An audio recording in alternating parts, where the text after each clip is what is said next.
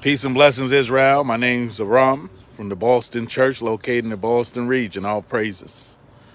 And Lord willing, today's topic is how can I find a good spouse? And uh, this will be the conclusion of this particular topic. And uh, let's start with a prayer, then uh, we'll get right on into the scriptures. All right. So let's meditate in prayer.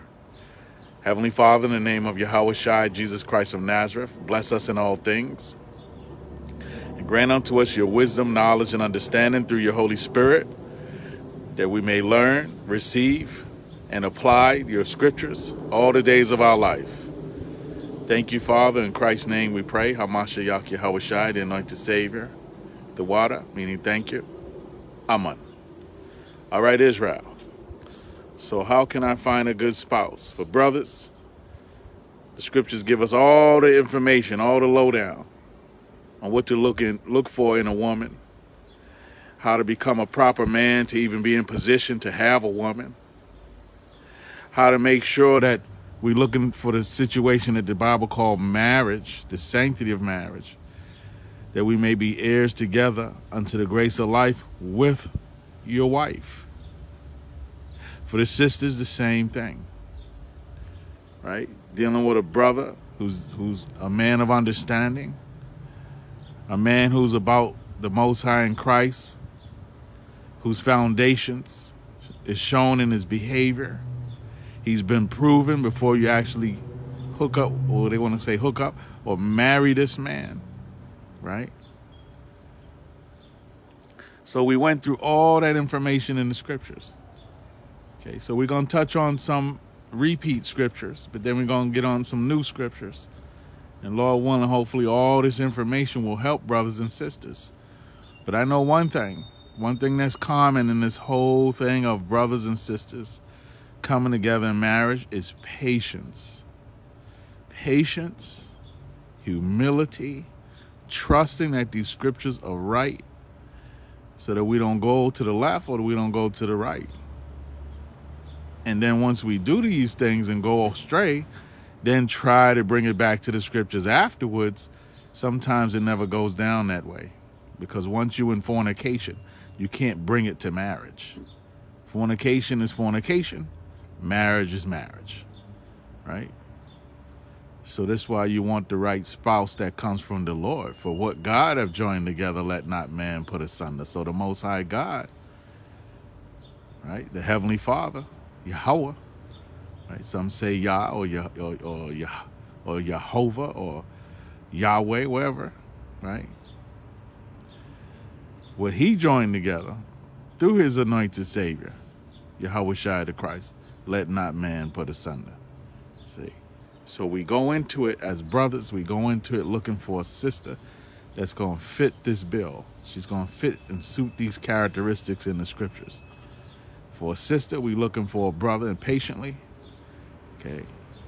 We're holding ourselves patiently to someone that's worthy enough for you to be his helpmate for life unto the grace of life, the kingdom to come, eternal life. That's a tall order, man. That's how you know you shouldn't be laying down with just any old body. Same thing for brothers. We talking about somebody you spend an eternity with. That cannot be, you know, Tom, Dick, and Harry or or, Shakita, who sucks her thumb chewing on bubble gum, right? She don't know the first thing about being a woman. So we got to learn, Israel. All right, let's get into these scriptures. And uh, we've been getting a very good response. Brothers and sisters, you know, very thankful and appreciative of the scriptures that's been going out. A lot of brothers and sisters been saying similar things, how it's helped them to understand better and how to approach things, how to be more patient, how to how to trust in what the Lord's saying, right? And that's the whole purpose of these cla these classes. So all praises to the Most High in the name of Christ for that. All right, and so let's go to uh, the Apocrypha real. Well, let's go to Hebrews 13 and 4. We read it last week, but let's go back to it. Hebrews 13 and 4. Right. All right, so Hebrews 13 and 4, right? We had Hebrews 13 and 4. Marriage is honorable in all, and the bed undefiled. But whoremongers and adulterers, God will judge. You see, so the Bible promotes marriage, right? That's what was instituted when in the day man was created, right? All the creation was created, right? The fifth day, the Most High created the sea animals. The sixth day, the Most High created the land animals. And the, the one that stood out the most was the species of man. That was to be the dominant species. And different from the animal world, where they come together and reproduce and, and move forward, the Most High said, no, for mankind to reproduce, he's got to reproduce only one way in the sanctity of marriage. Don't care what the world say. Society is on a one-way ticket to destruction. So marriage is, is honorable in all from the beginning.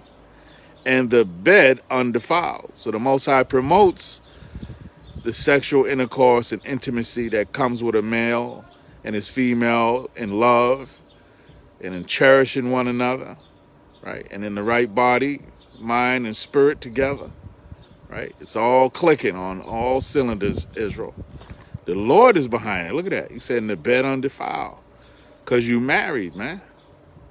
But what? But whoremongers and adulterers, God will judge. So when we talk about the marriage, we talk about the marriage as concerning the Holy Scriptures, not this Western European type marriage loaded with paganism and Satanism, the man subjecting himself to the woman, getting on one knee, putting a ring on her finger, all that is satanic. Now, I know we didn't know better, but the Bible has never promoted that type marriage, right? We talking about the marriage of the scriptures.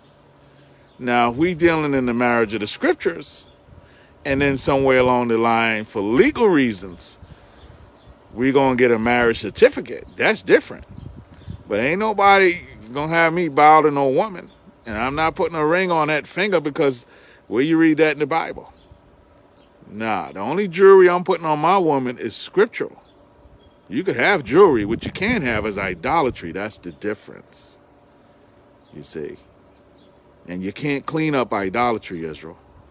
Well, yeah, I'm to put the ring on her left index finger but it's, it's you know it's it's because I love her. It's not because what how the world told us to do it. It's you lying to yourself. You see, because it's the it's the world who told you to put it on that specific finger, but you lying to yourself and don't understand where all that's coming from. It goes back to uh, uh Satan for the man to bow to that one knee and put that ring on her finger like that that, that's a reenactment of how Adam bowed down to his woman Eve and let her run things, and it was a reversing of roles in order to be satanic. You, they couldn't follow Satan and the serpent, so we understand. They couldn't uh, get the wisdom coming from him because he said it was wisdom, right? We know it's a lie, right? And so, in order to get any kind of philosophies from Satan, you got to be satanic. And so Satan went to the woman first and bypassed the husband. That's that's out of order. Right?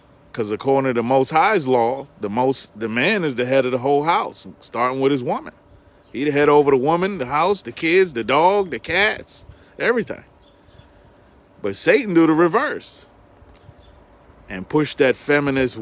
I hate saying feminist because they don't change the meaning of that as well, out of mockery. Okay, the true uh, definition for feminist is a woman being a woman and actually exemplifying, putting an emphasis on being a woman. That's the true definition of a feminist. But when you talk feminist these days, they don't switch the meaning that a feminist is someone against being a woman. She's about being bold and aggressive like she's a man in a woman's body. So the devil loved to, to switch the terms and play games. So all we saying is marriage is honorable in all and the bed undefiled, right? That the marriage the Lord talking about? Is the marriage between that Israelite man and his Israelite woman who's the helpmate to the man. Right? And so we refrain from anything dealing with idolatry. Okay, we had wedding feasts, we had all, all that, but we didn't have idolatry. That's the difference. We didn't bow to one knee. We didn't do none of that garbage. Okay. Now, for legal reasons, right? When a man want to uh, make sure that society recognizes the marriage that he already got with his wife from the Lord, he may have to go to the town or city where he's at and get a, a document, right? Marriage license. Ain't nothing wrong with that. Okay. We ain't doing no ceremony. We ain't having no man give some stranger some justice of the peace. Who's that? Justice of the peace. Who's that? Where it say that in the Bible? The Bible say the parents marry the children off, the daughters off to the to the husband. So we ain't doing none of that, right? But the problem is these cities and towns, you got to go to the justice of the peace, and then he got to sign the paperwork and so forth. In some of these towns, they say, you want a ceremony included when you get this uh, license, this marriage license? We say, no, we don't need none of that. Just pay the money, give me the license.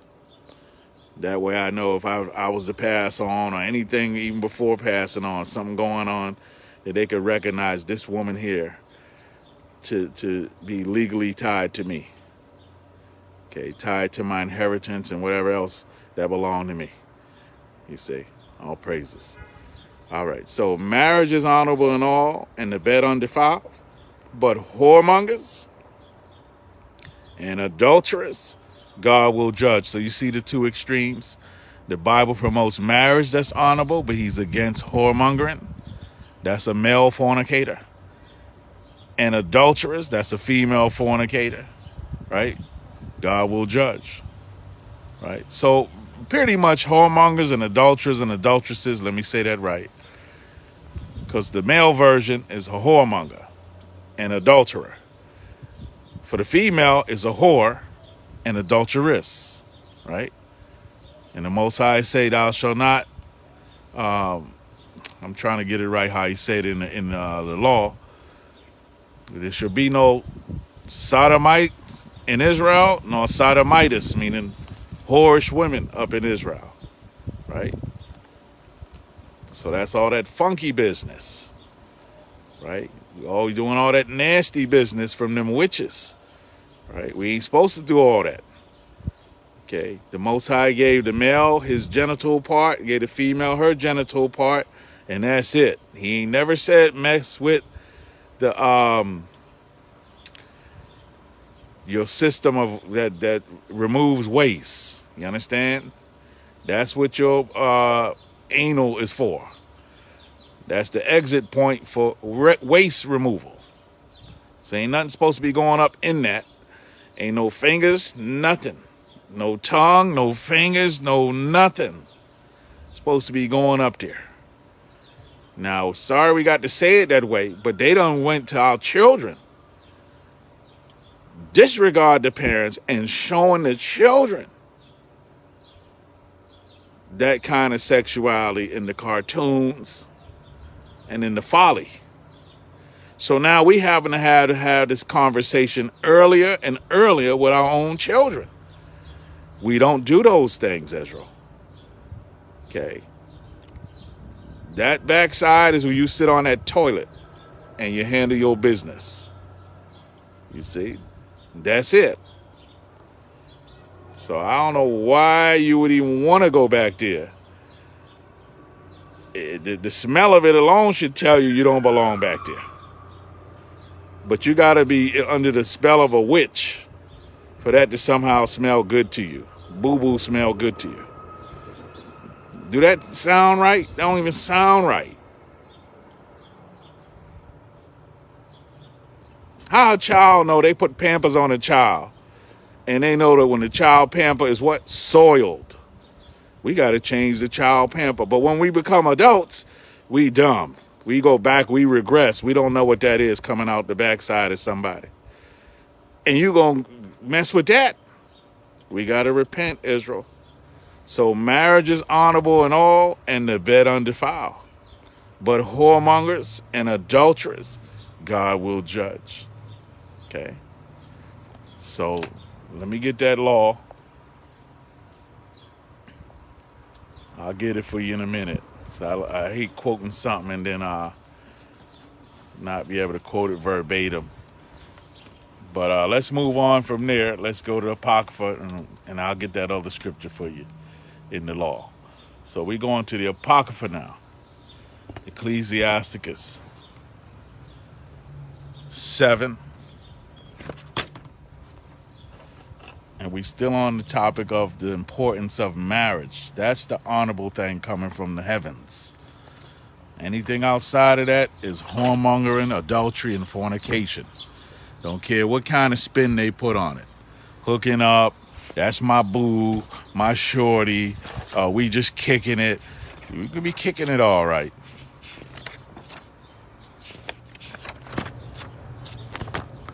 So we got to repent, Israel. So we go on Ecclesiasticus in the Apocrypha. We want the seventh chapter. And we kicking, we're going to kick that bucket in a minute. This Most High said, whoremongers and adulterers, God will what? Judge. We asking for death. So we had Ecclesiasticus, right? And we at the seventh chapter. But we want the 23rd verse and we'll start from there. So Ecclesiasticus 7:23. Hast thou children, instruct them, and bow down their neck from their youth. So it's the parents' job to raise the children. It's not the parents' job to go to public school and blame the, the teachers at the school and complain and give the teachers a hard time.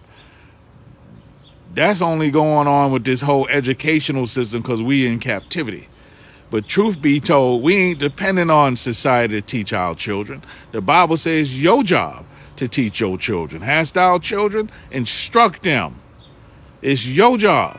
And bow down their neck from their youth. Ain't say be their friend and let them talk back and answer again and and trick you. I see children lie straight to their parents. The parents know they lying and don't do nothing about it and not only don't do nothing about it and give them some sort of uh, rec- recompense, they end up rewarding the child. So if that's happening from the, the age of a child, what's going to happen when that child become an adult? What did you just create? You see, this is why society's upside down. Because we're not following the laws of God. We got to instru- instruct our children and humble them that's that's a, that's that love and nourishing and chastening, instruction. At times, they may have to get a physical discipline, or sometimes a restriction, take away privileges. Right, but that's the love, and it's from their youth, Israel. Not oh he's too young. Well, where do we think the word youth come from? Young. Oh, he's too young. He ain't too young to disrespect his parents. He ain't too young to, to be out of order, inappropriate behavior. So we got to stop making excuses and get scriptural, Israel. So it said, Hast thou daughters? Now it's getting specific. You got any, amongst children, you got females, young daughters? Have a care of their body and show not thyself cheerful toward them. So part of the instruction and rearing them up, you got to make sure you're on top of what they put on and how they carry themselves and be not cheerful, meaning easygoing and, and just lackadaisical and letting them run it. If they can have a care of their own body, the scripture wouldn't be in here. So we as parents got to have a care of their body. That's not in a young female. You have to teach that.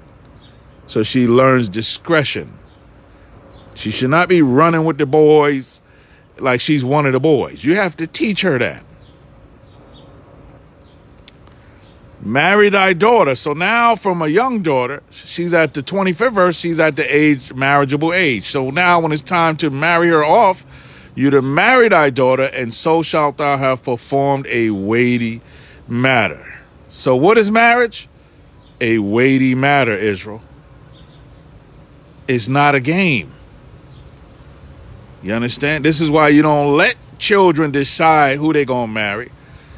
Right? You have to, the, the, the marry, before we get to 25th verse, you should already been instructing them to the 23rd verse. From the 23rd verse where it says, you instructing them from a young age, from their youth.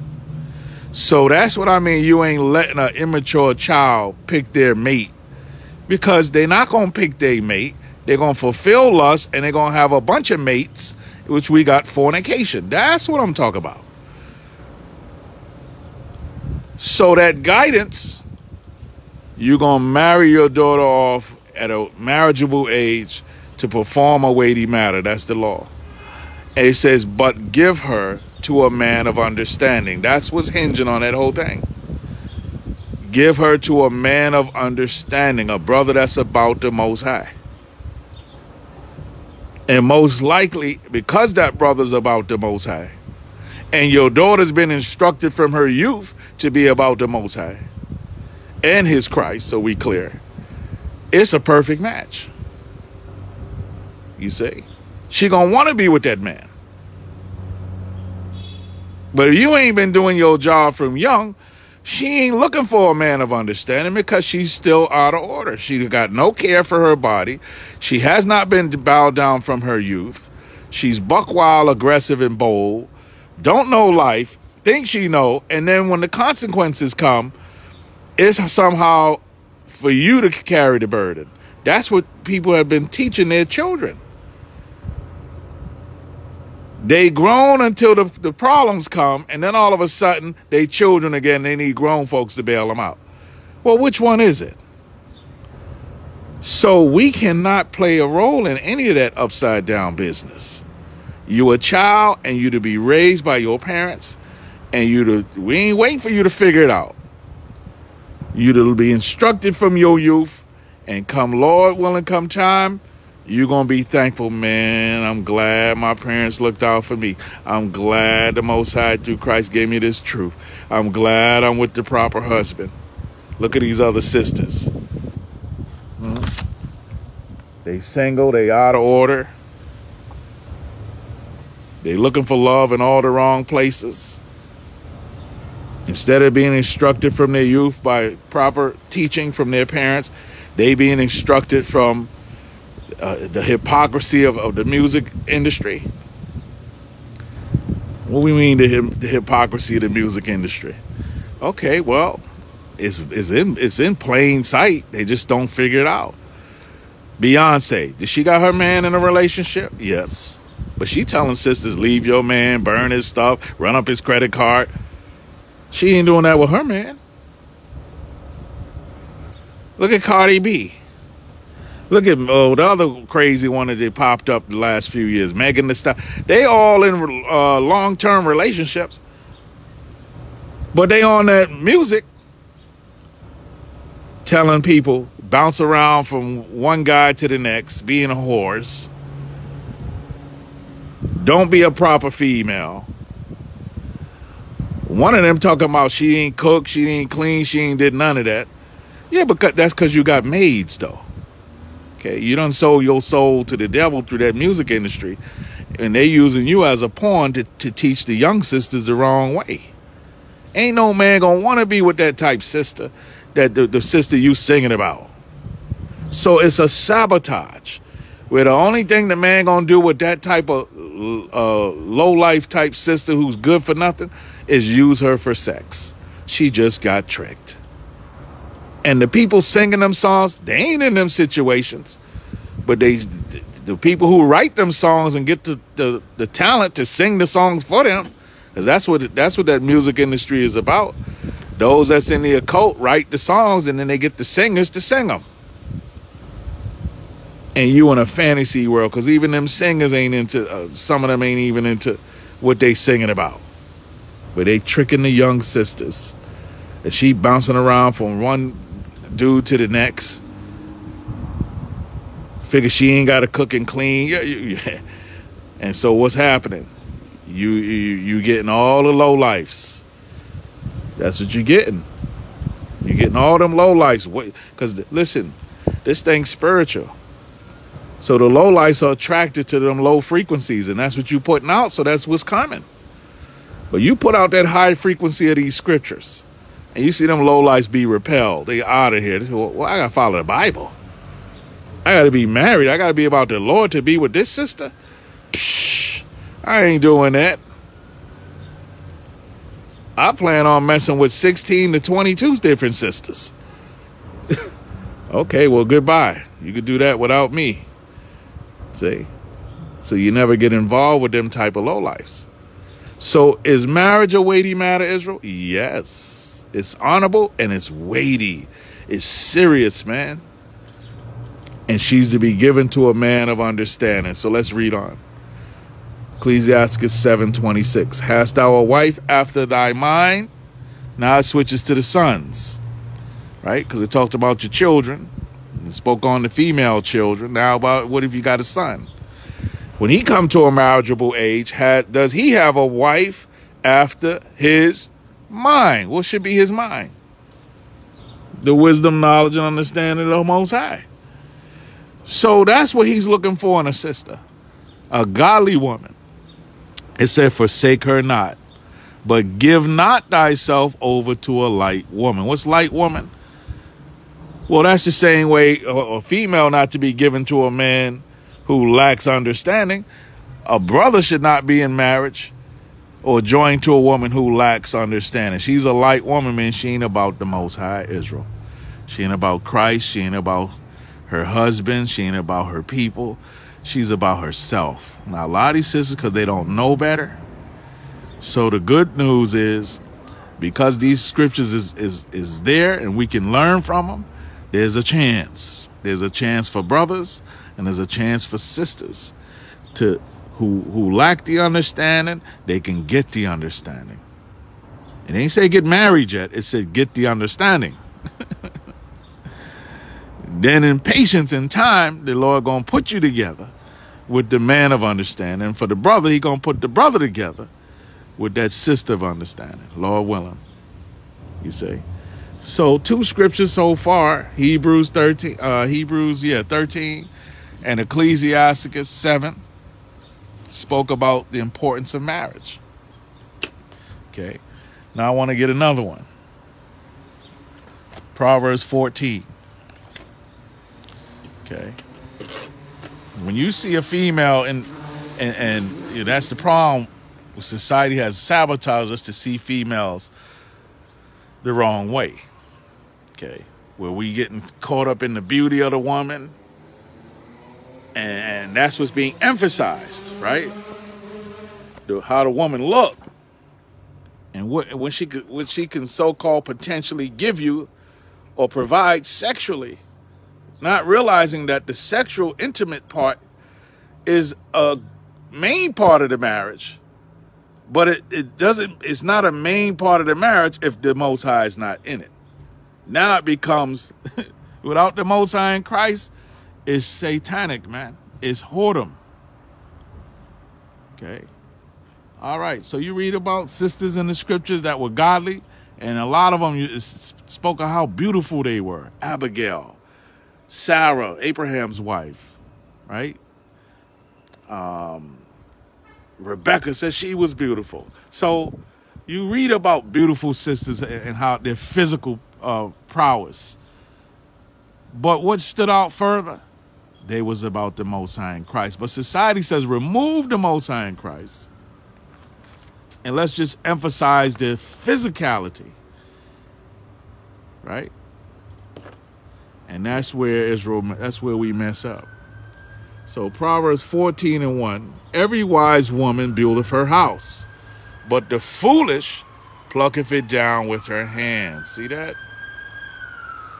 So that's why you, you, you this wise woman, who do you think she was before she was a woman?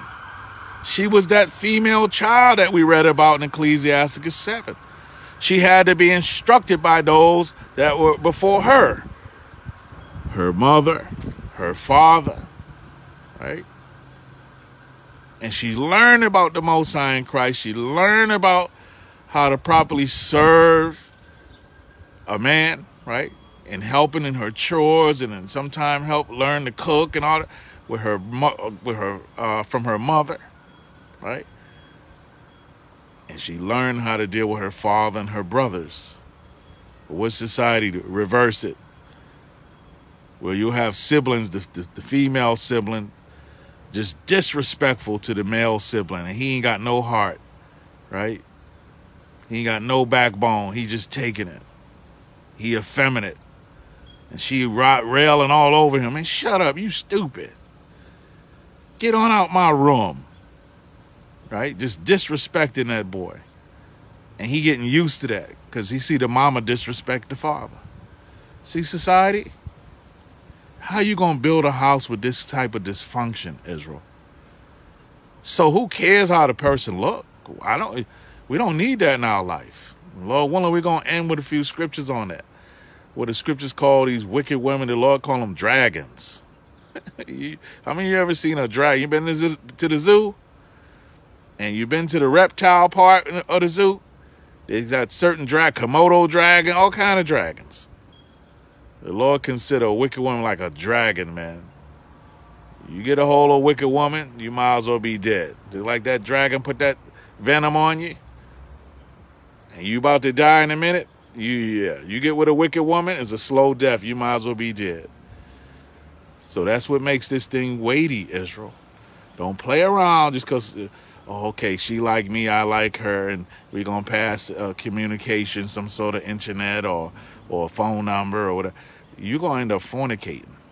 Hold these people to these scriptures without the idea of us coming together. And let's see how that works.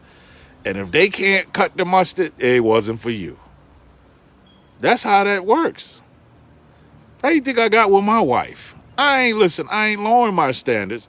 Once I learned this, I'm gonna say number one, the mercies of the Most High in Christ, because I wouldn't have been in a position to even know how to go about that.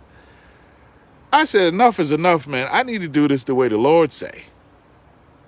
And as a young man, you know, I knew certain things because, you know, I had a good structure in my family as far as males and females, but it's still nothing better than the Bible. Okay. And so when I started learning and humbling myself, I said, I need to be by myself. I need to learn. And it became easier for me. It became easier for me to just be patient and the time when I wasn't thinking about it, and you know, I I don't know who done told because I done told the story so many times, but I had planned to move out of state, and I you know I was going I I was setting up a job out of state, and I was saving up money and every other thing, and that's when I met my wife, and I ended up staying right up here in Boston, and um, from day one, man I let her know what I was about, and she let me know what she was about. She was down to hear these scriptures, and she was very intrigued, and um, it, it was working, man. I said, not only she beautiful, but she wanted, you know, she got a beautiful spirit. Let me see where this goes. You know, sometimes things be too good to be true. So I said, hold on, man, this is too good to be true. We're going to see, right? And we just go over scriptures and talk, and I'm going to talk with her parents and get to know them and and the Lord blessed it. You know, and 30 something years later, I know the exact number, but we on the internet. So 30 plus years later, we still rolling, right? Heirs together unto the grace of life. So the Lord don't lie. And I'm so thankful that I trust in these scriptures. You know, we talk about it sometimes like, man, I'm glad, we glad we ain't in that roller coaster out in that world trying to find the right spouse because we trusted in these scriptures and the Lord had mercy for us to even put us on the path to even search the scriptures. So all praises to the Most High in Christ. And so it's only fitting to, to, to pass this information to the rest of our people of our nation so they can be patient and handle business the way the Lord would seem fit and bless the thing, man right? It's, it's so many brothers and sisters out here. If we would only humble ourselves to these scriptures, we'd be all right. So let's read it again. Proverbs 14 and 1. Every wise woman buildeth her house, but the foolish plucketh it down with her hands. So you want a woman, not just build a house, it's a wise woman. I mean, she about the most high wisdom. And she was taught Israel, you see. Now, in the cases where her upbringing wasn't about the wisdom of the Most High, but she she willing to, to learn about the wisdom of the Most High, let her learn first. Okay, put her on to the to the scriptures where you got the conference call, you got the videos. Let her hand let her handle that, and see if she interested in that or not. Okay, so some people be trying to trick folks. You know, they be a holy roller for two months, and then you you lack patience, and you oh this is my wife. Oh yeah, all she had to do was trick you for two months and cover her head. Man, we got to be better than that, right? So, uh, one brother, and uh, some of y'all might know what I'm talking about, but one brother in the church right now met the sister when he was going to college, freshman in college, and um, and they met, and he was actually working, um, working and going to college, so they both worked at the same job, and uh, they had an interest in one another, right? And so the brother, at the end of the day, between him and her, they chose the scriptures. And he ended up marrying her. He didn't marry her right away, but he ended up marrying her. I think he, um, I won't get the time frame right, but there was some, there was a few years in between before he finally made that move. And the whole time, the brother's parents and the sister's parents was became close, you know, and the the the, the, the father to the uh, sister had already said in the early beginning to the father of the brother, he said, "Man, if it goes down this any way, you know, further, like I would want your son to marry my daughter." He said that early on. You see. So, and they still rolling. You see, they rolling. The Lord blessing it. So that was a sister that he can see. She will. She willing to build her build her house, man. Where that man could, could could be that king of that house, and she could be that helpmate, make him feel like a man. Right? When you ain't got a woman make you feel like a man, brother, you in trouble, man. Your food don't taste right. You can't work right. You you you constantly depressed. You you can't walk down the corner right. When a man got pro- woman problems, man, ain't nothing don't be right. Look at these athletes; they got millions of dollars. They gotta be a top athlete, all star. Then all of a sudden he'll go through something. The guy can't shoot the basketball no more. He having all kind of issues with his teammates, and you find out what's the what's the what's the backstory to he having problems with his woman. It ain't never fail because marriage is honorable and all, and the bet bed undefiled. When you got the right woman, she already know beforehand. Her job is to build that man's house. You see, make a comfortable home in the wisdom of the Most High. Let's get an example of that. Let's go to the book of Ruth.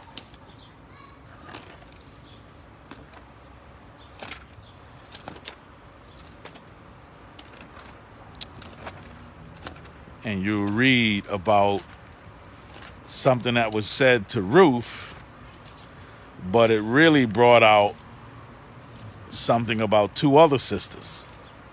That's why we go into this scripture here. Let me make sure I get it. Hold on, man. I didn't pass this. Sorry about that.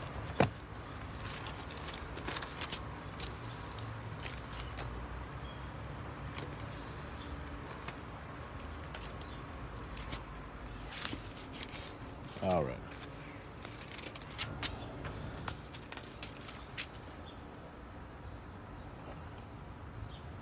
So we at the book of Ruth. We want the fourth chapter. Ruth, the fourth chapter. And we want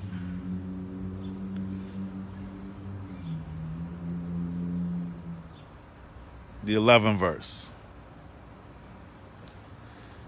Okay, so the brother Boaz ends up marrying Ruth, but this was deal. She was married, but through inheritance. There's a difference here, but that's not my point. I'm trying to emphasize. This is what I'm trying to emphasize in the 11th verse.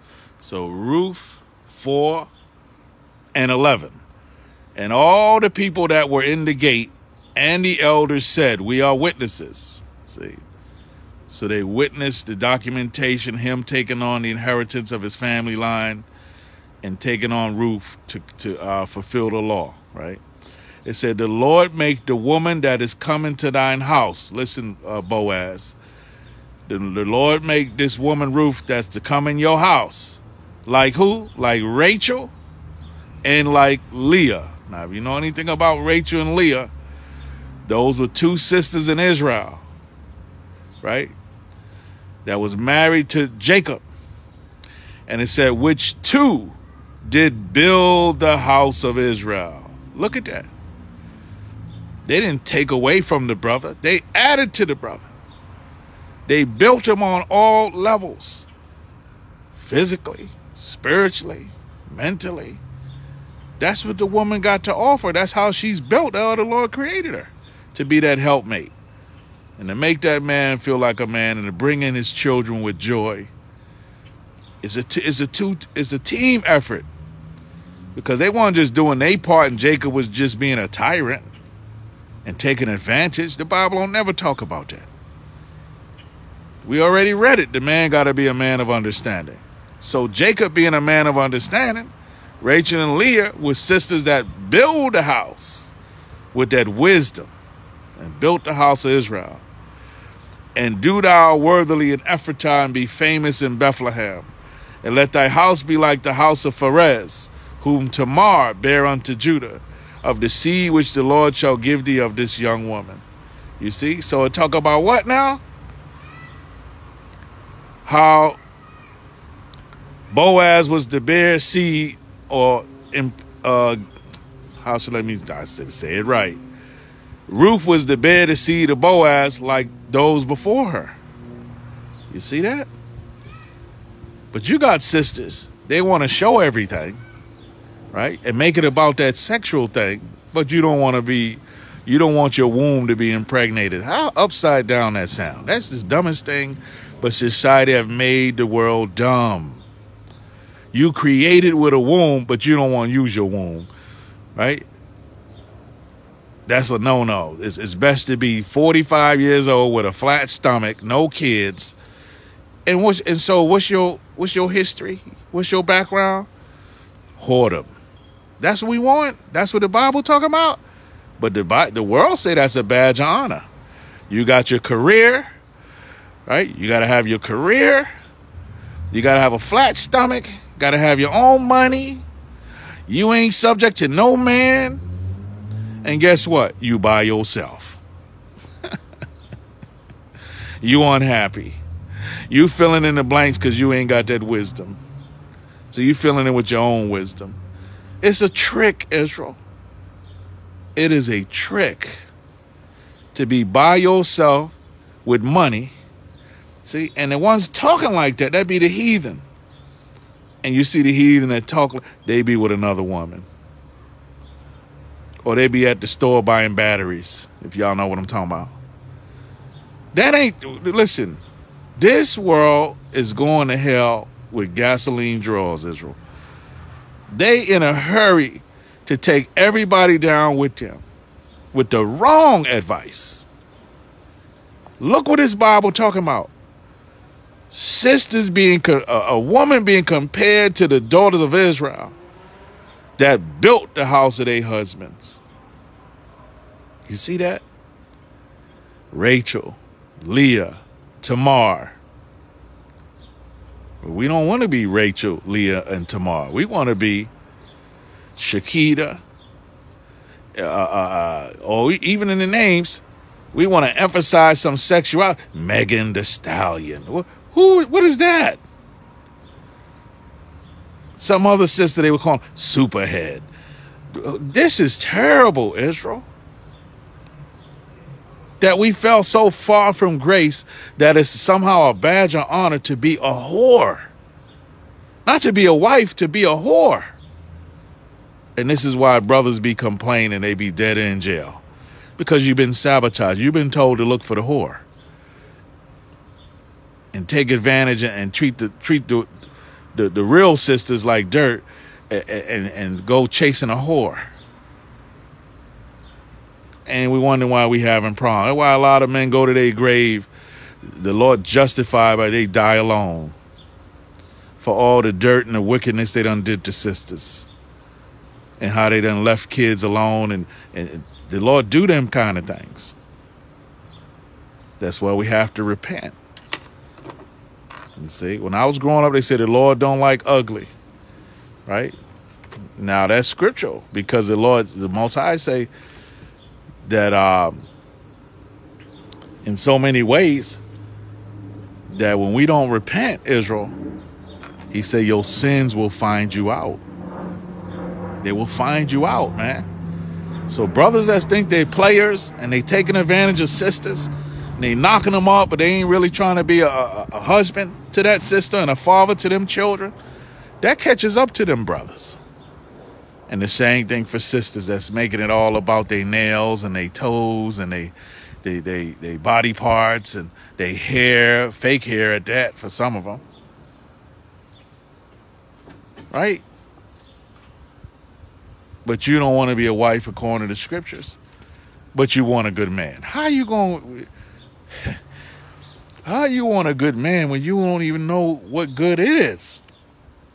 You got to first be good to know what it is. Right?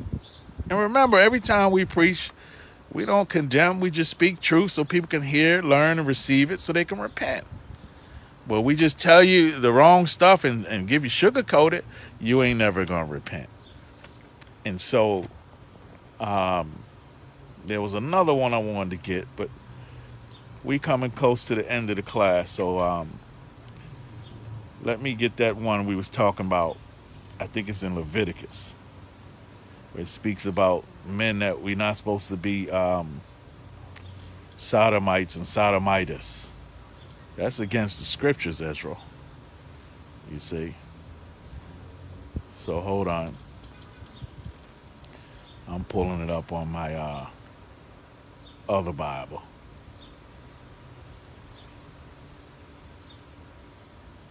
Hold on. Deuteronomy 23 17. I don't like quoting stuff without quoting it verbatim. So Deuteronomy 23. Okay, Deuteronomy 23. And we want 70. Okay. So I'm going to highlight this so I don't I have to go through that again. Hold on.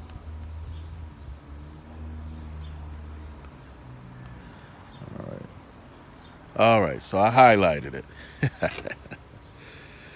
like they said, for office use only, right? so that was for my brain. Okay. So Deuteronomy 23 and 17. There shall be no whore of the daughters of Israel, nor a sodomite of the sons of Israel you see that? So you can tell right now that society is on the wrong track. Because what are they pushing in the music industry? What are they pushing in Hollywood? What are they pushing in society in general with the clothing? Don't you know the clothing designers, they into the occult as well? They know how to design clothes to emphasize the body parts. You see? Half shirts and mini skirts and tight pants and all kinds of stuff to emphasize the male and the female body parts.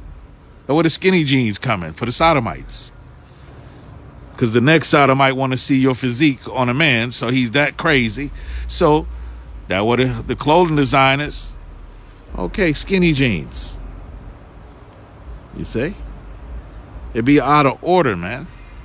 So let's read it again. There shall be no whore of the da- daughters of Israel, nor sodomite of the sons of Israel. So when I say whore the daughters of Israel, no, sodom, it means sodomite and sodomitis. That's what it's talking about. It's talking about whoredom in general. Okay. So a lot of things, a lot of relationships that ain't supposed to be together. That's number one. And a lot of sexual acts that ain't never supposed to be happening. That's number two. That we were talking about earlier, some of that funny business that ain't never supposed to go down in Israel. We ain't supposed to be doing that, Israel. You see. So let me see something else.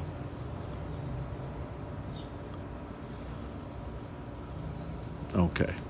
So now let's end with this scripture here. Ecclesiasticus 25. Well, there's, there may be two scripture we might want to end with. So we let's see how much time we got. So Ecclesiasticus 25. Uh, we'll start about the 12th verse. And that's in the Apocrypha, Israel. So Ecclesiasticus 25. And we'll start about the 12th verse. Hold on.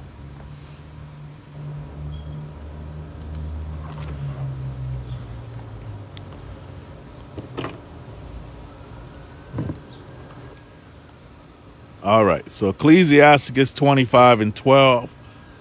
And we'll skip through a few verses here just to emphasize a few points. Actually, we'll read to 26. We'll read to the end of the chapter. How about that? So Ecclesiasticus 25 and 12 down to 26. Okay. So it says, The fear of the Lord is the beginning of his love, and faith is the beginning of cleaving unto him. Give me any plague but the plague of the heart and any wickedness but the wickedness of a woman. So you see we was talking about earlier? When a man's heart is vexed because of that woman, it affects his whole life. His whole his whole head is hanging down. He at work, everybody working and whistling. He at work. He cussing. He mumbling under his breath. He he's he getting in arguments with everybody. He's he's in a bad mood because of that woman. So he said, Give me any wickedness but the wickedness of a woman. When you got a wicked woman, man, that's one of the worst things in the world. And any affliction but the affliction from them that hate me, and any revenge but the revenge of enemies. There is no head above the head of a serpent. So he's talking about the analogy how a serpent is very shifty, right? And unpredictable, right? And move real on on on the on the low. And there is no wrath above the wrath of an enemy. I had rather dwell with a lion and a dragon than to keep house with a wicked woman. You see what the Bible been said? Man, I read this. I said, I couldn't believe this was in the Bible. Because I done seen some of this growing up in, in, in um, I grew up in New York City. So I done seen, you know, amongst my family, brothers and sisters having issues. And I said, Whoa, this scripture was here the whole time. Right? This brother, he, he dwelling with a lion and a dragon, man. And she wicked. It said, The wickedness of a woman changeth her face and darkeneth her countenance like sackcloth. See, so the brother sees the, the, the outward beauty. He don't realize that's nah, you you don't know what you're seeing a spiritual brother that's into these scriptures, he gonna see what she she looked beautiful, but he gonna see through that she got a dark countenance, man. She's a haughty sister. Ain't no nah, she ain't for me. Uh-uh, I ain't lowering my standards to that. That's a dragon right there. But the fool, he'll he'll he'll deal with that. It said, Her husband shall sit among his neighbors, and when he heareth it, it shall sigh when he heareth it, shall sigh bitterly. So, what is he hearing amongst his neighbors? All her wickedness. He's being talked about. He's being mocked. She's embarrassing him. See, he got a bad reputation because his woman loose and wicked and caught up into stuff. See, I don't seen. I don't seen that. The brother just he what she do now? Man, your woman was up over there hugging up on this guy and and she was sitting with the boys over there and such such such and and then she was telling the other sisters that She don't let no man run her, and she's just embarrassing this brother. Right? 19 verse. All wickedness is but little to the wickedness of a woman. So you see, when you're talking about wickedness, it ain't talking about all women. It's talking about that wicked woman. It said, let the portion of a sinner fall upon her, meaning let the Most High judge her and give her everything she wants. Calamity after calamity after calamity. Because she chose wickedness rather than being a woman, a righteous woman that build her man house and build a nation, play her role in building her nation, bringing in that man's kids, cooking and cleaning and, and, and, and being there for him in so many ways scripturally, right? She's his friend. She's his communicator, right? She's his comfort when he's being dealt with in all kind of ways in society coming at the Israelite man. He at least knows when he goes home, he has someone in his corner, right? But society say, no, you need to be arguing with him like Esther and Sanford and Son. Esther and Fred Sanford. That's that's the Monica that we want from from the plantation days. We want the Israelite man and Israelite woman at odds with one another. 20th verse. As the climbing up a sandy way is to defeat the aged, meaning it's so difficult, so is a wife full of words to a quiet man. So you see the you see the reverse? Here the man quiet, he got humility, but the wife full of words. That puts that man in a difficult situation, just like the age or old elderly trying to climb up a sandy way. It's so difficult, and you see brothers just going through it. That man's 26 years old. You would think he's 46, 66. Because she just rap, rap, rap, rap, rap, rap, rap, rap, rap, rap, rap, rap, running that mouth. Rap, rap, rap, rap. I mean, it gets so bad for some of these sisters. They don't know that a conversation take two. They just talk and talk and talk and talk. The man done tuned out after the first three three words because he said, "Here she go again." And instead of being a man, he just taking it and taking it and taking it. You say, why? Because he went after this wicked woman. He wasn't patient. Look what he got. So he says, stumble not at the beauty of a woman. So now it's telling you, you want to avoid all this? Don't fall for the beauty of a woman, brother. And desire her not for pleasure. Now, wait a second. We read last week, Proverbs, um, the fifth chapter, that let the woman, your wife, ravish you with her love. Let her breast satisfy thee at all times. But here it says, don't look for that. Why is it telling you don't look for that? Because if you if that's what is if that's what you're looking for in a woman, that's all you're gonna look for. You're gonna set your standards low. So it's saying don't let it be about lust. And what a brother said, I take not this my sister for lust, but uprightly. And mercy, we pray that we mercifully, you will mercifully ordain that we may become aged together. See, that's what Tobias did when he was praying with his newfound wife when you read Tobit 8 and 4. So we're not to just go into this thing looking at the beauty of a woman. We're going to stumble, brothers. And we just desiring her for pleasure, we're going to stumble. She's more than that. But if you if that's all you're looking for, guess who you're going to end up with? All these verses been talking about the same type woman. That wicked woman. That one that's a dragon or a roaring lion devouring you, tearing your manhood down. You see? So it said a woman, right? What kind of woman? This wicked woman. See, verse by verse, it keeps describing her. So this wicked woman, if she maintain her husband, the word maintenance come out of maintain, right? So the woman's job is to be that maintenance, right? To keep a happy home to build that man's house, but not for the wicked woman. She ain't trying to be that maintenance and, and so if she gotta maintain her husband, take care of him and be that helpmate, what's her attitude? Is full of anger. Impudence, right? Impudent, stubborn. and much reproach. You see? That ain't what Rachel, that ain't described Rachel or Leah or Tamar. But it describing that wicked woman. She has a problem in her element. She said, I ain't trying to be nobody's woman. I'm going to be my own woman. So if she has to actually maintain her husband, she's full of anger, full of impudence, full of much reproach. She giving him problems. A wicked woman abateth the courage. You see, when you got a woman chumping you, man, she punking you, right? And you taking it. You know she punking you because if a if a dude did that to you in the street, you'd have a problem with it. You say, "Oh, hold on, man, who you talking to like that?" But when a guy woman do it to him, she obeyed his courage, man. She punked that brother.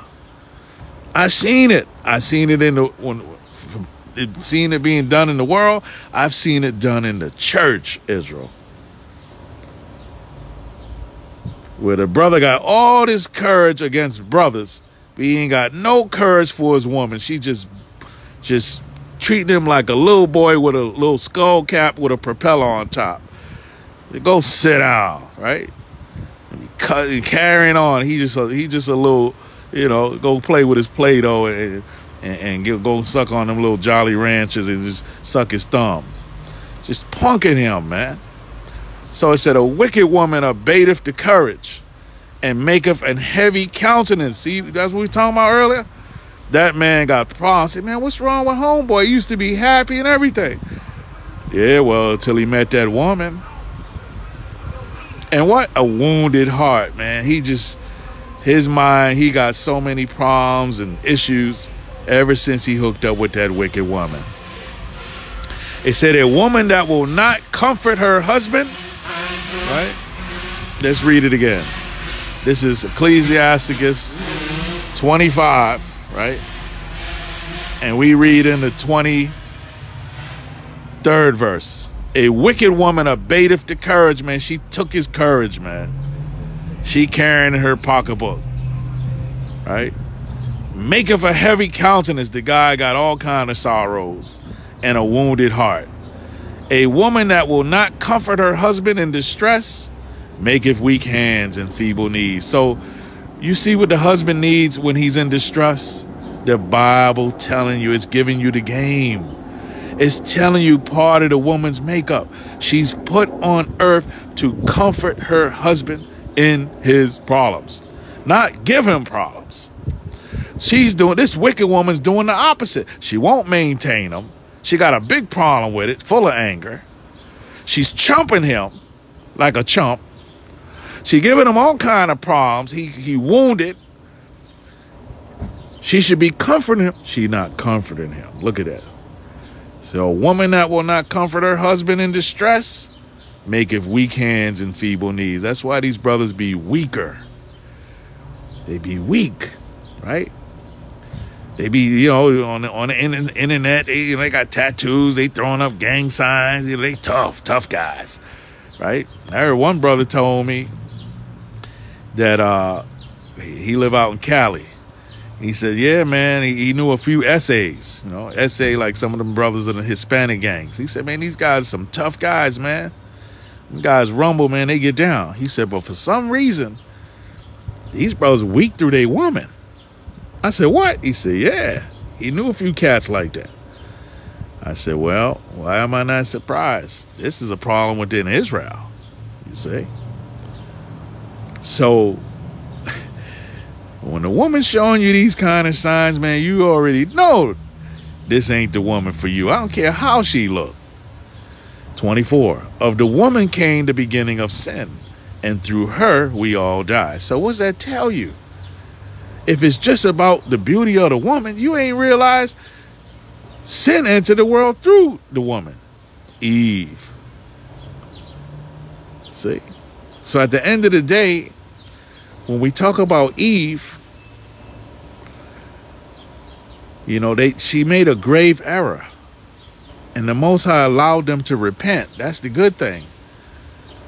But what happened is she went down in history infamously that she was the first one to listen to Satan. You see? So you just, as men, man, we can't take it upon ourselves. Just think the, the woman's physical uh, look is all you need to know if that's for you or not. And same thing for sisters, man. Don't make it about your look outwardly. Make it about your look inwardly first. Be about the Most High in Christ. So what does Scripture say? 25th verse. Give the water no passage. Meaning you got to tighten your belt, brothers, for the ones that's in these situations. You got to you got to man up, man. You ain't got to yell and scream, but you got to be consistent. And you got to come out of wisdom of them scriptures. You coming out your own wisdom, that's part of the problem why she running all over you. She running all over. You can see what kind of shoes she wear. It say Skechers right on the brother's forehead. She just knock him over and step all over and say Skechers. So you got to get a water, no passion. You got to block it. They hold on now. Everything stops. Okay. Ain't gonna be no one spoiling you and this and that. We need to talk. Right? And it might be some shockation going on because she's so used to you being a punk. But now you got a Lord with you. And you're repenting, not only to the Most High in Christ, but you repent to that woman say, listen, I ain't showed the true love to you. I've been letting you say and do however. That ain't no love. Now we got to do this right now. Okay? We can't go back and turn the clock, but what we can do is move forward in a righteous way and start applying these scriptures. See, you got to know how to, this. that's another thing, brothers don't know how to talk to a woman. You already got the authority, whether you give it up or not. The most I say, you born with that authority. You a male child. You couldn't give it up if you wanted to. You ain't got to ask to be no man. Just be who you made to be. Hey, uh, wife, can I be a man? Uh, no, only on Tuesdays. And stop that weak stuff. So give the water no passes, brother. Stand up. Like the man says, stand up for your rights. Get up, stand up. Don't give up the fight. But this time you fighting that spiritual thing. And a lot of times, man, I didn't, and I've seen this too, which is a good, a good story, a good ending to this story. I done seen brothers who really didn't know this information. And the woman, she was actually in his corner, but he got that weak nature, so she subconsciously took over and dominating the marriage. But when that brother started learning these scriptures and start applying these scriptures, learning how to walk, talk, think, and act, that woman followed right by. That's all she wanted. She wait for you to be that man. Right? So you got to get the water no passage. Neither a wicked woman liberty to get abroad. She not cooking, she not cleaning, she not giving you no TLC, she not there for you in comfort. She not applying those scriptures that first and foremost. When you giving her liberty. Oh, I'm going with the girlfriends, I'll be back. She go all over the town, all everywhere with a girlfriend. You don't know her whereabouts. When she come back, oh, the, oh, the, the, the, the, the tank of the gas is on E. You need to put some gas in there. Okay. Okay. Right?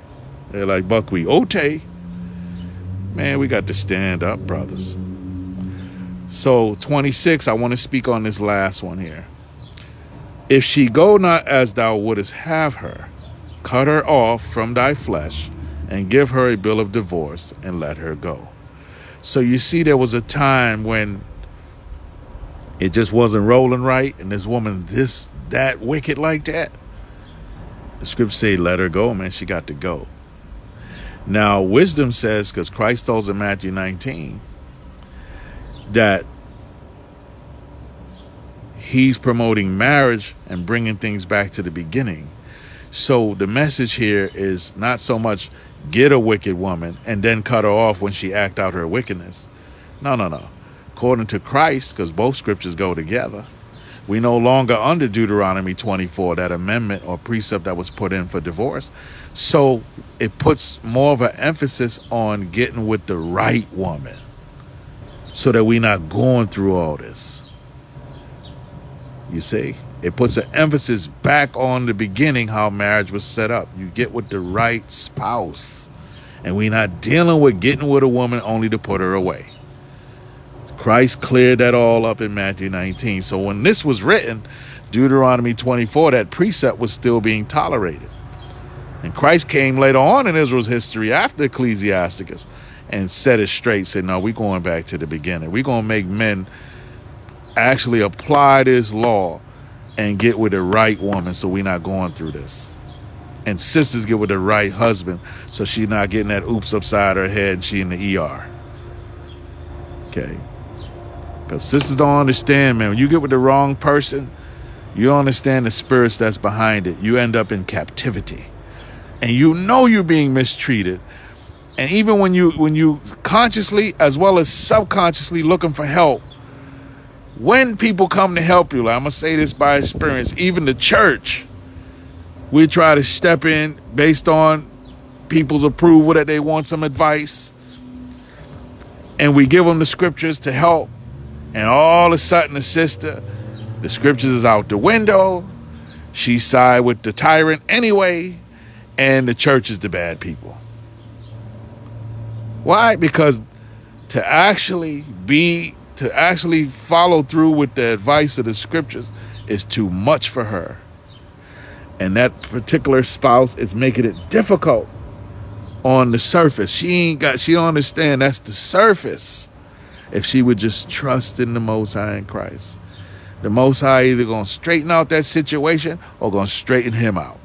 You're gonna end up flat dead. Lord forbid. You understand? When, them, when that sister crying out to the Lord, you don't think the Lord here? and she trusting in the Lord, she patiently trying to deal with this difficult man, that the Lord to either help that situation out because of her faithfulness or he going to deal with that brother. And when he deal with him, it's up to the Lord how he going to deal with him. He may rough him up a little bit so the brother could come to his senses and realize he got a good wife. Or he might just do away with him altogether. Lord forbid. We've seen some of that. You see? All right, Israel. So um, I'm going to end it there. The 26th chapter is a good chapter as well. Let me see what I got written down for that. Uh, yeah, that's a good chapter as well. So you can read Ecclesiastes 26th chapter on your own. It's got a lot of good scriptures in there right? Ecclesiastes 26 and 7 it speaks about the evil wife is a is a yoke shaken to and fro. He that have hold of her is as though he had held a scorpion. See, the other chapter called her a dragon. What's a scorpion? A poisonous uh, uh, creature. You get hit by the tail of that scorpion, you might as well be dead. The same thing marrying the wrong woman. She evil. You might as well be dead. It's a slow death, brother. She's she draining the life out of you, brother. That's why these brothers be uh, anorexic. These brothers be out of order, man. But then check the brothers that got the good wife. She gonna make sure he don't go out the house with holes in his pants, right? She gonna make sure he go out the house, man. He looking healthy, right? His skin don't look gray. Look at the married bros as opposed to to the brothers who got that wicked woman. The brothers got the wicked woman, man. He looking busted right? When the brother got that married woman, he confident. He feel like a man, right? You see, and and and that's what attracts them other women because they say, well, hold on, this man got confidence. He's manly. He's about his business. I, I want to see what's making him so happy, right? And so the married brother got to realize that too. They only coming around for covetous reasons. They want to see what's going on and make a fool out of you and your woman. You got to read the game. Say, nah, nah, nah. What she's seeing, because she carnal, she's seeing that manliness, right, of a man being built up by his woman. And she want to get in on that for the wrong reasons. You got to read that as a husband. Say, nah, nah, sister, we don't get down like that. Okay, you get your own husband based on the wisdom of the Most High. Okay, but see, in that sentence, we we we down the street. That's a little too much. Okay, we ain't having that kind of conversation.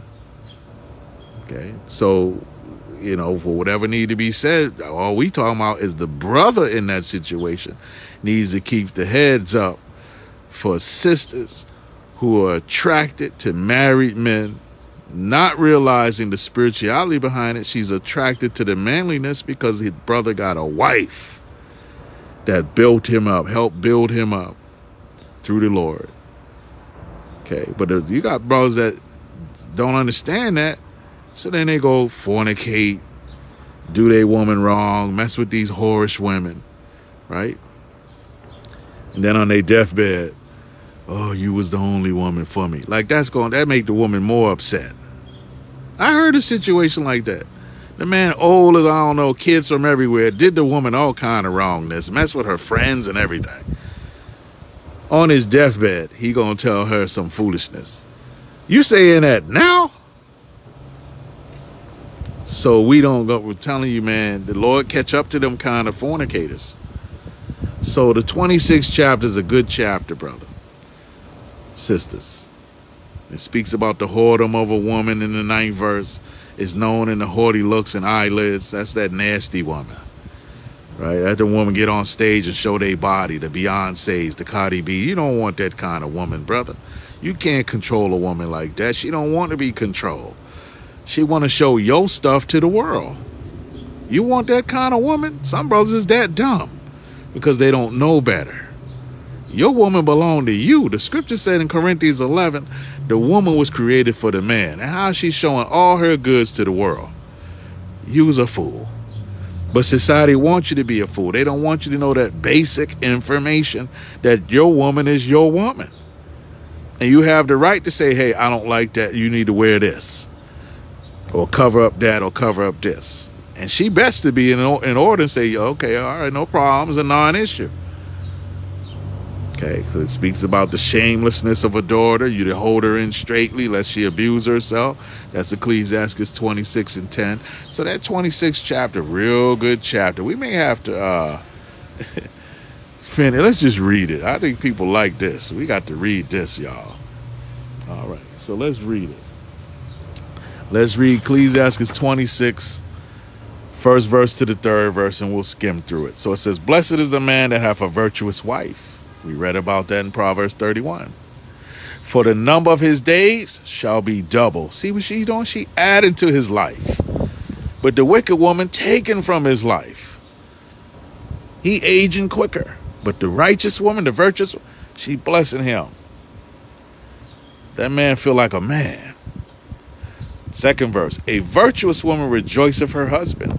See, she making him happy right? The Bible, they, the Bible say that the, the woman make the happy husband, man. But society said, happy wife, happy life. They did the reverse. Like Satan did when he, he's reversed roles with Adam and Eve. No, the woman's happy when that husband is happy. Because why? That happy husband is mutual. He gonna bear the fruits of that and make that woman happy. You understand? Listen, man, my wife make me happy. And I ain't talking about she got to buy me things and do all the extracurricular. Just be my wife. That we always talk about. And I'm just happy for that. Wake up in the morning, she right by my side. See, go to work, come home, she in the house handling business. That's what make me happy. And when I'm happy, all praises. We praying together, we rolling together in them scriptures. We do happy things together. You see, it's mutual. So that virtuous woman rejoiceth her husband, and he shall fulfill the years of his life in peace. You see? So I when I read these things, I said, Yes, Lord. I knew I wasn't supposed to marry no high maintenance. We don't marry high maintenance brothers. The high maintenance is for them brothers who willing to get punked. Okay, your woman's supposed to be low maintenance. Okay. A good wife is a good portion, which shall be given in the portion of them that fear the Lord. So what's that telling us? Those that fear the Lord, the Most High join them with a good wife. So what do we got to do, man? We got to fear the Lord, keep his commandments. And the Lord, the matchmaker, he gonna match you with a good wife. But you won't be wicked. You're gonna get that dragina, super dragon. She gonna run all kind of games on the brother. I seen brother, one brother, he was a young brother, and it was an older sister. He she ran all kind of games on him. All kind of games. Young, right? He was a young brother, just got his life. was in the early '90s. Um, and he was in the church, right? Younger brother than us. He get a car, get a little money, had a job, but she wanted them ghetto chicks and she played them, right? She giving them attention, you know, geesing them up, like we say, geese them up or or fatten them up, give them all kind of compliments. And once she once he hooked up with her, man, she was taking his car. She was doing illegal drug business, right? Holding drugs for some other dude, all kinds of stupid stuff. And he the fool, boo boo the fool. She played him, man. So an evil wife, we had Ecclesiastes 26 and 7. An evil wife is a yoke shaken to and fro. He that have hold of her is as though he held a scorpion. A drunken woman, see, your woman ain't supposed to be drunk, out of control. And a gatter abroad, she hanging with all kinds of men, all loose and no discretion. Causeth what? Great anger. Now you embarrassed, you upset. She putting you on blast. Oh, be quiet. You just insecure. While she drooling. She falling over on the other man's lap. And you stand there like boo boo the fool. This is what society pushing though. And she will not cover her own shame, you see, because she drunk. She out of order. The whoredom of a woman may be known in her haughty looks and eyelids. See? So don't tell women dress whorish. Don't judge me. The Bible been called it. You dress like a whore. You act like a whore. The Bible say you a whore. We ain't said it. The Bible said. So don't be a whore. Learn something, sisters. Make a man treat you like a female. Make that brother learn something. Wait for that brother. You ain't got to know the brother. As we talking these scriptures now, you ain't got to know this brother. You ain't got to know nobody. All you know is the Lord gonna hook you up with the proper brother who fit the proper standards, these scriptures. Other than that, everybody's keep it moving. Keep it moving. Don't mess up my life. Keep it moving. That's how you gotta think, sisters. So the whoredom of a woman may be known in her haughty looks and eyelids. If thy daughter be shameless, keep her in straitly, meaning strict you got to have rules, man. Right? She got chores to do. She got instruction. You got to teach her. We ain't taking no attitudes. None of that. Lest she abuse herself through overmuch liberty. See, you letting the woman get, the young girl get too much liberty? What the Bible say? Maybe, maybe she might abuse. No, she gonna abuse herself. You say? Watch over an impotent eye and marvel not if she trespass against thee, because you got some sis don't listen. You tell them scripture, they don't listen to their parents, man. So it says, She will open her mouth as a thirsty traveler when he hath found a fountain, and drink of every water near her. By every hedge will she sit down, and open her quiver against every arrow. You see? So she loose. Right? So that's what the scripture says even when you hold them in straightly, don't be surprised if you have certain sisters from a young age just rebellious. What the Lord got to work a work in this kind of sister. Because if not, she's on the path of destruction. Ain't nothing good out there. So you're going to get out of it what you put into it, sisters. Okay, so you want to be hard headed. And do you, you gonna do you all by yourself. You, by yourself. Yeah, you. The grace of a wife delighteth her husband, and her discretion, see? Discretion will fatten his bones. She's blessing him, she's building him up just by her being discreet. Got on the right clothing. Okay, not no wardrobe malfunctions up in the church right? We've had that. Sisters come up in the church, dress inappropriate. The husband act like he don't know what's going on. Listen, brother, uh, we got to do a better job. The Bible speaks about the discretion of the wife fattens the bones of the husband, make him a better man, adds years to his life. A silent and loving woman is a gift of the Lord. You see that? Different from the woman that's full of words. She hurting that man. But the silent and loving one, what mean silent? A deaf mute? They ain't talking about no deaf mute.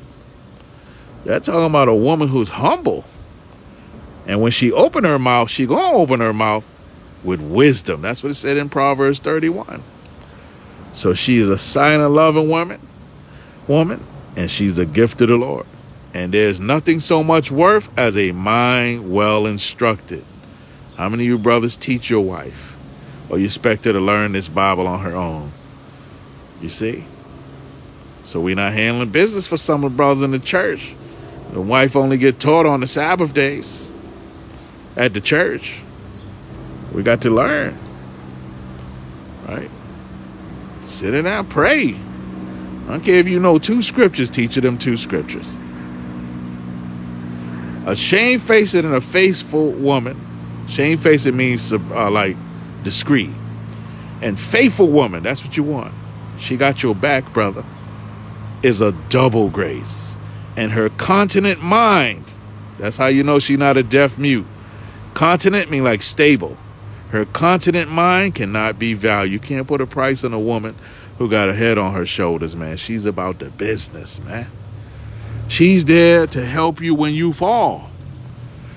You want the community. You want your wife communicating with you. You don't want a, a parrot and a robot. Some brothers love a robot. Right? I know sisters that were lively and they were they had a very good uh, personality. Then they get with a brother, and the brother you can see the sister just a whole different sister. She got no she she don't talk to nobody. The brother keeps her to himself. He pulling scriptures. Yeah, that's my wife though. Yeah, but brother, you ain't read these other scriptures though. Okay. You, when you first met her, was she what what did what did you fall in love with when you first met her? Okay. But as the years go by, you just just crushing that sister's spirit. She just gave up. She just, I don't want no problem. So she's just a robot. You see? And that way you have bro, Stepford, where they made that movie, The Stepford Wives. Sorry to say, you have some sisters in Israel, they the Stepford wives. See? And so that, that it's so the, the humility and the woman being subject to her husband, it's not pure. On the surface, it looks like it, but that's not what the scriptures were saying. Ephesians 5, with a woman to be subject to her husband based on the, the Christ, the order of the Christ, not based on the husband's subjection, what he like and what he feel. Listen, man, that can only go but so far. But the scriptures, if the if what you like and what you feel got to crush that sister's spirit, that's against the scriptures, man. I've seen whole sisters change their whole character for a man and the brother quote the scriptures, brother, you out of order, man. We can't do things like that. That's a whole person with a soul, a spirit inside of her. And the minute she trying to be who she need to be without breaking the script, you allowed to be who you need to be. But she can't be who she need to be within the range of the scriptures. Like that's bad. We ain't talking about her breaking scripture. We talking about at least being a person. Like having her own opinion. And she has her own opinion based, you know, within the range of the scriptures. That's what I'm saying. The brother take it, oh, she disagreed with me. She don't have my back. Okay, so now we're going to look at the brother. What's wrong with you, man? You don't deal with people who disagree with you? Okay, so we see where the problem is. Okay. If a, well, you got a woman that agree with everything you do, brother, that's trouble. The woman's supposed to agree with them scriptures. First and foremost, that's why she's with you. Not with you first, then the scriptures. You see? So, 16, as the sun or riseth in the high heaven, so is the beauty of a good wife in the ordering of her house. See, how many scriptures we got to read about the woman ordering that house well, right? You got brothers, they don't even let the woman deal with the house. Oh, I'm going to pick the paint. I'm going to pick the furniture. I'm going to pick, and you could tell because you, you go to the brother house, say, okay, uh, this don't got a woman touch to it. you know, this brother, you know, he, he got Batman on the wall. He, he got the, the Dallas Cowboys. what's wrong with this brother?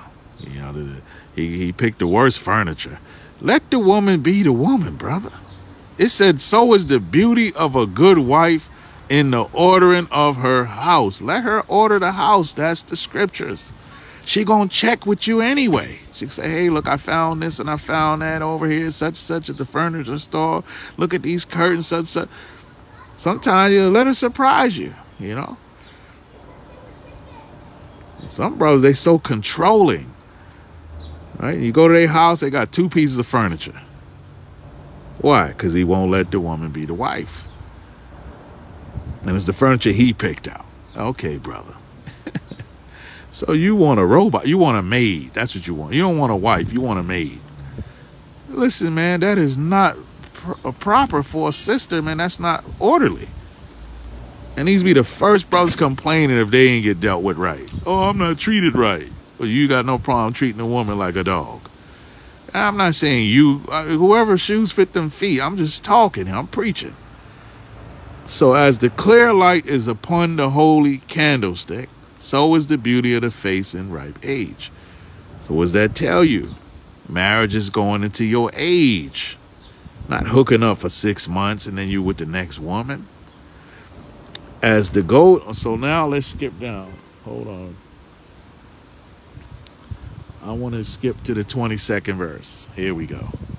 And we'll read to 26 and we'll end the class. So we went a little long, but it was necessary. So Ecclesiasticus 26 and 22. And harlot shall be accounted as spittle. See? So society say they they the harlot's better than the wife. But the Lord, that don't work with the Lord. The Lord said the harlot is the bottom feeder. She's to be accounted as spit, meaning disgusting. But a married woman is a tower against death to her husband. So that goes plays into what we said earlier. How you gonna have a deaf mute for a wife, a parrot, and a and a and a robot? This woman was put on earth to defend any da- defend you from any danger, including yourself, brother. But sometimes brothers get you know get the quote in scripture. I'm the husband and such. You got and that's not all the time where you need to start, you know, pulling rank. She's trying to help you, brother. You missing the point. So she's meant to be a married. The married woman is a tower against death to her husband. A lot of times, the woman ends up marrying the foolishness of that man from his upbringing. Uh, so I said, I, am not generalizing, but I said a lot of times. So just understand how I'm saying. And a lot of times you going, it's vice versa too, but a lot of times when that woman's trying to be a tower against death to her husband, because that brother was spoiled as a child, didn't get enough spankings, didn't get, get didn't get shown how to be a man. She's now dealing with it uh, as an adult. Spoiled, you know, if he don't get what he want, he start running his mouth, being vicious with his mouth, verbal abuse. Or he can be, deal as a hypocrite. What's good for him is not good for her. Doesn't really see what the Lord gave him. And so destroy that sister and treat her bad.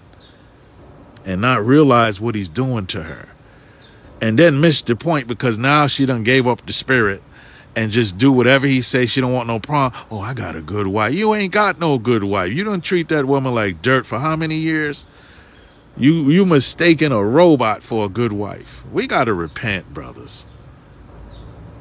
This married woman is supposed to be a tower against death to her husband, meaning, husband, I love you, but you're wrong on this one. The Lord say this, can we pray and can we make that move? you should be expecting that as a husband. You got some husband, oh, you ain't got my back. Or, or, or, or you trying to usurp authority over me. Or you, man, you, and a lot of time because his mama and his daddy let him get away with dirt from young. So correction is tough uh, because now it's hitting him personally. And that's where he got the problem. So we can't be like that, brothers. Okay. Recognize, analyze, realize, and make the move. But we don't recognize the problem. Then we put burdens on others. It affect people in their spirit. Certain sisters, they don't do they don't take the robot route. They take the the fiery route and start rebelling and bucking back. And then what are the brothers? She's out the spirit. She got the devil in her. That's all he gonna see now, but he don't see his role what led to that. So we we trying to tell you in the wisdom of the Most High in Christ, man, your wife was put on earth to help you, even when you can't see right from wrong. Why do you think Sarah helped Abraham when he was making wrong decision? Does she tell him something? Hey, you you against me? You supposed to back back me up? Yeah, and Abraham would have broke God's law. We wouldn't have been reading about good things about Abraham. We'd have been reading how he went off. So she did the right thing. 23. This Ecclesiastes 26, 23. We, we on the home stretch, y'all.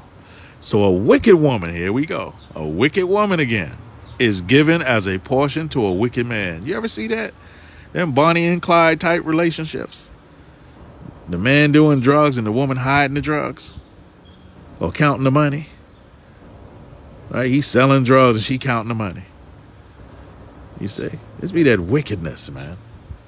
But a godly woman is given to him that fear of the Lord. You see that?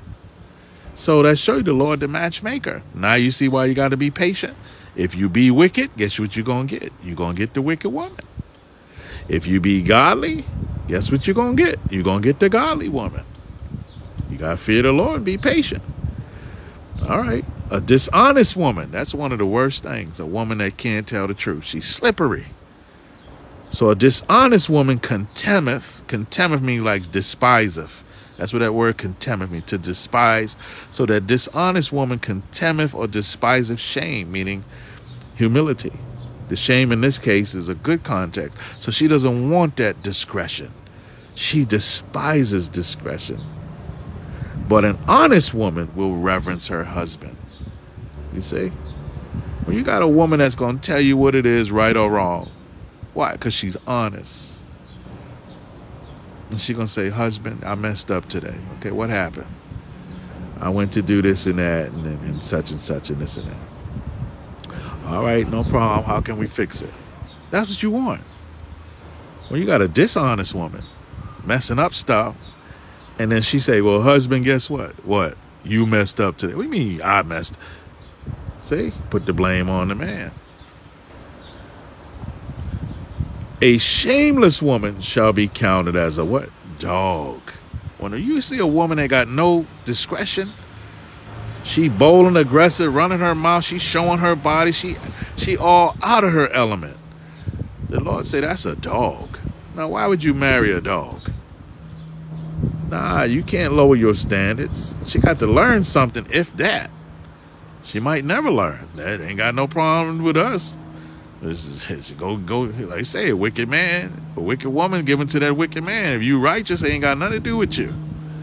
But she that is shamefaced, right, meaning humility and discretion, will fear the Lord. A woman that honoreth her husband shall be judged wise of all. But she that dishonoreth him in her pride shall be counted ungodly of all. See, that's that woman that through her pride, she won't listen to him. She throwing tantrums. She defrauding him sexually. She playing games, slick games. That's her pride. And she dishonors him. She talking to him crazy. She condescending to him. She waiting for him to give in, because since he gave in all them other times, you see, and these brothers don't figure it out. So, okay, let me just keep giving in. Maybe she'll change. Listen to yourself.